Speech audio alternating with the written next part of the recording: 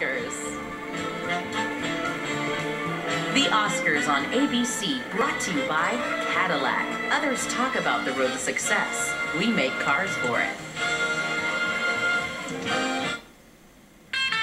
To win an Oscar, it's the top award. So I look at it as okay, got this now. What's next? I became an actor because I wanted people to feel like the role that I'm playing is a real person. You know, somebody's daughter, someone's mother. There's so many different stories you can create.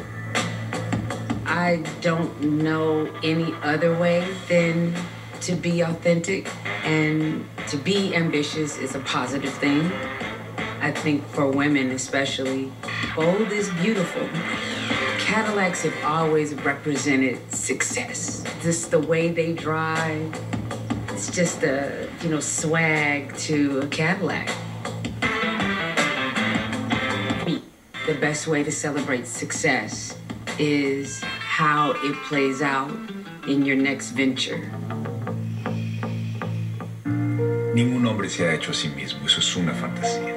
Every artist is a link in a chain that goes back to the dawn of human history and is going on to some point in the future that we can't even imagine. If you think about those people that have really shaped you, they never leave you. The fact that you're able to make someone else flower in a sense, this is uh, incredible satisfaction. So they're doing the whole no host thing again.